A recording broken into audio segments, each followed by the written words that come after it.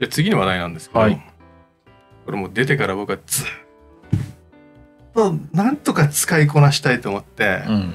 何本買ったか分かんないんだけど そこにありますけどね。唯一愛せないモードスでしょ。いやいや愛したいんだけど愛したい。向こうが振り向いてくんないのよ。モーダス3、はい。ハイブリッド、ハイブリッドね。モーダス、あの、はゴースト。いはい。かつてはですねは今季2勝いう。んプレジェンツカップでも活躍。はあの日本のスーパースターもですね、い。は出た時にチラッと使ったりいしてて。使ってましたよ。うん。うん。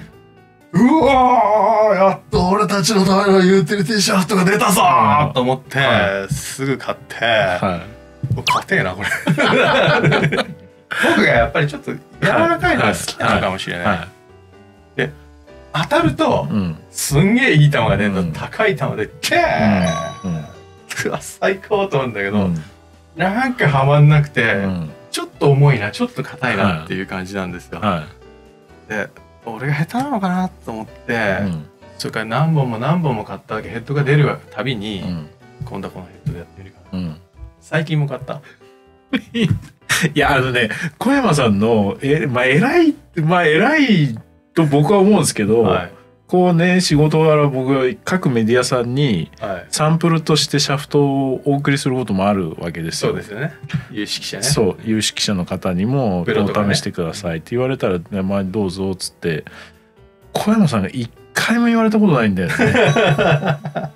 いつの間にか買ってるじゃないですか。大昔に一回125の一節使ってくださいって、あの提供していただいたことがあるので、はい。は全部じゃないんだけどいうん、でもだって何本？めちゃめちゃ買ってる。でしょ？100本じゃ効かないと。思 うでたまにこうなんかね SNS とか見てまた買ってるわこの人と思って。あのレジオフォーミュラの MB プラスなんかさ、はあのキャロウェイのスリーブ用ダイトリストのスリーブ用、はテーラーのスリーブ4本ぐらい買ってるから、い。いやすごい。だってそんなもうなんかなんとかの記事用でシャフトを出してくださいとかってよく言われるじゃないですか。それはもうありがたいから喜んで送るのに、うん。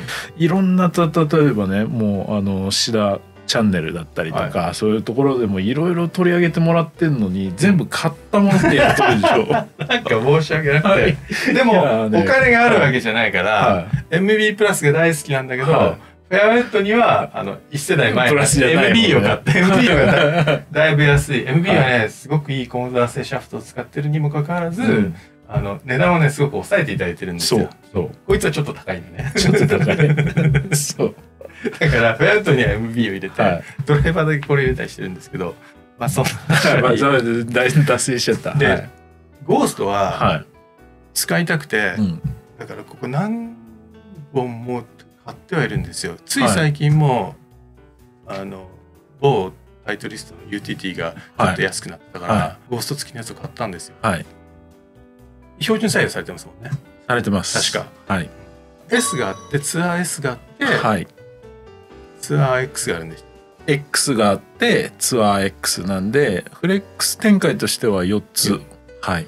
ノーマルの S もはい。ちょっと硬いくらい硬い。はい。だから19度とか17度とかのうんユーティリティに入れて、うん。ちょっと長さを出してしなり感を出して、うん。当たったら飛ぶかなってういう感じだけどん。ちょっとねそのしなりのポイントもつかみづらくてはい。ちょっと僕がつかみきれてないんですよそのゴーストのその味をね、じゃあ使わなきゃいいじゃんって話なんだけど だけど、うん使いたいのさ。うん。でもね、そうやって使いたいって言ってくださる方結構多くて、だってスチールにはい。カーボンシートを巻いて作ってるんですよ、これね、本当夢のようなシャフトだと思うんですよ。こんなね、やっぱり、うん、で、まあ、言ってしまえば世界最軽量のスチールとん。世界最軽量のカーボンを合体させて、うんまあ、ほぼ世界一硬いに近い、まあ、うん世界最高峰の USPJ に持ってってるわけだから、うん。夢のようなシャフトなんですよ。でスチールのは良さとい、はい、カーボンシャフトの良さを出してるシャフト。そういうことで、なんだけど、はい、なんかそこがうまくいかないんだよね。まあ、なんか硬いんでしょ。硬いのはねすごくよくわかります。ははい、なので、い、もうちょっと使える？にはどうしたらええですかのいいの？っていう 重さは 100g 切ってるんですよね、そうなんですよ。ね。で41インチちょうどいいでですよね。そう90だからまあ長さによっては 80g 台入ってくる。でただ硬い。でこれに対してはこの先端機で350って試したことありますか？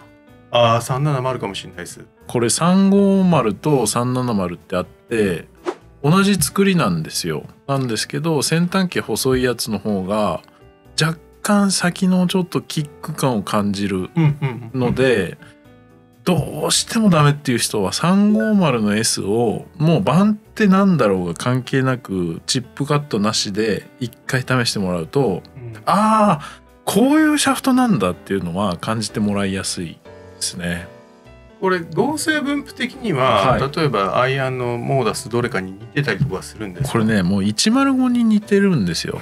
で その軽い割にうん。硬いっていうのもほんと105に似てるんですよ。なるほどね。はい、だから 105を使いこなすのってやっぱこう一工夫ね必要なように、はいやっぱマークずらしたりね。このモーダーサイブリッドも我々のヘッドスピードだったりパワーで使いこなすにはやっぱり一工夫必要で我々っていうかクレアさんまあまあ飛ばしますからね いやでもねでもそれでも僕は350の S を使ってますよ。もともとはね370の S だったんですけど最近アイアンを125から120に一気に変えてでいやこれ困ったなんかゴースト硬くてしょうがないんだけどどうしようって言って350の S やってみたらよかった。クレアさんその体格だからね。飛んでそれはわかるけど。は一般の方はがゴースト使ってはい。うまくはまった例とかあります？どんな例があります、ウッド用のうん。ウッド系のユーティリティよりはアイアン系っぽいやつで使ってもらった方が喜んでもらうケースが多いかもしれない意外と。なんかねそのアイアン用のアイアン型ユーティリティってまあ数とかも少ないですけど、はい。あとはそのいわゆる箱も箱型のユーティリティでもちょっと小さいやつん。とかで、えー使うケースの方が硬さ感じづらかったりとかもっと硬く感じていいはずなのにあこれだったら使いやすいって喜ばれるケースが多い。アイアン。はい、アイアン用のアイアンアイアンン型ユーティリティ。アイアン型はい。ユーティリテだからそれこそあのーもう最近最近増えてきましたけど5番のたらたらこって今言うのかな？今の人たらこって言わない、ィタラコって言って通じる人はね、はい、いない。おじさん。いないえっとアイアン型ユーティリティと5番とかあるじゃないですか、はい。あとはその、えー、と飛び系アイアンのロングアイアンとかはい。にこれを入れてすっごい調子良くなったっていう人結構多いですね。うん。それこそあのいわゆるこういわゆるユーティリティハイブリッドの19度入れてダメ22入れてダメ25入れてダメっていう人がそういう飛び系のロングアイアンに入れてみたらいやすごいドハマりしたっていう人それ面は多い白いな。で特にヘッドスピード速くない方、えー、ともう40、さすがにこのモーダスのヘッドスピード帯って423は欲しいんでトラックマンでドライバーでね。はいはいはい。それぐらいのヘッドスピードの方でもそのアイアン型ユーティリティとかですごくこう気に入っていただいてるケースは多くて、それは面白いな。アイアン型ユーティリティも今結構良くなってますからね、うんうん、でまあ僕アイアン型ユーティリティが大好きで、はい。大好きっていうかアイアン型ユーティリティっていうものが大好きで、はい。じゃあ使いこなせてるかっていうと、うんうんうん。全く使いこなせないわけですよ、もう昔からうん。それこそプロギアズーム買いました、なんか水野のツアースピリットって書いてある。あ よくわかんない。プロトタイプも買いましたし。最近だとはい。ライトリストテラメイド、キャロウェイもちろんピンのクロスオーバーも買ったし、はい。はい。好きなんですアイアン型 UTT が、はい。はい。でも何一つ打ちこなせない。あ狭いな。ここはアイアン型 UTT ではい刻んでプレースメント優先するかなって思ってはい。バーンってやってドチピン打ってとか。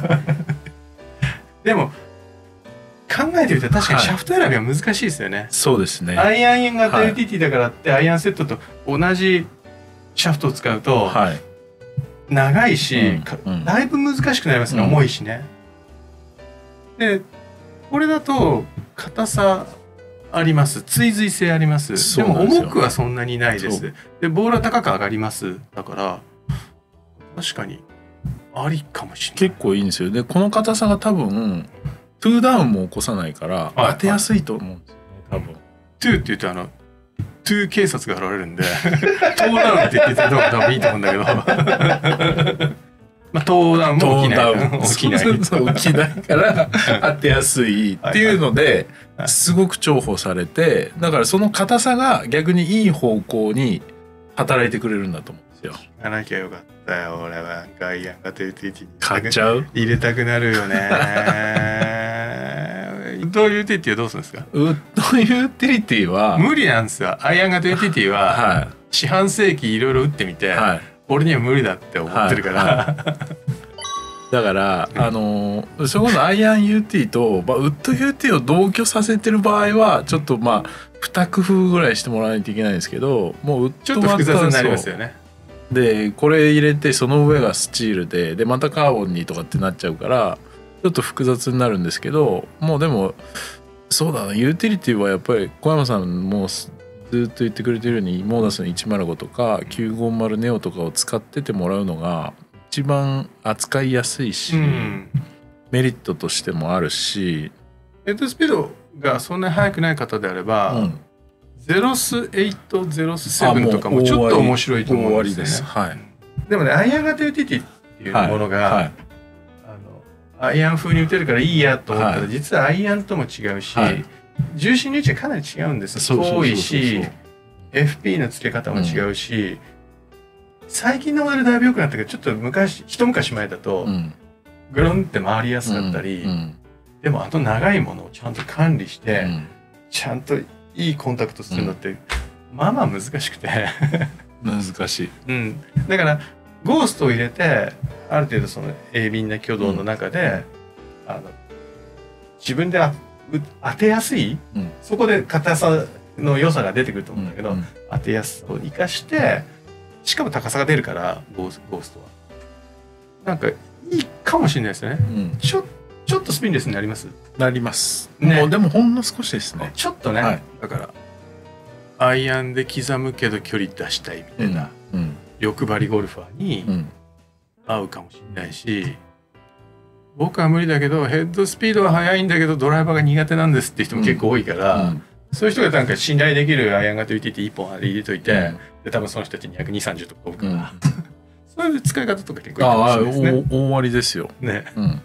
若い売ります人に。そうそうそうそうそう。じゃあちょっととりあえず350チップでちょっと試してみますよ。うん一回試してみてください。ありがとうございますありがとうございます。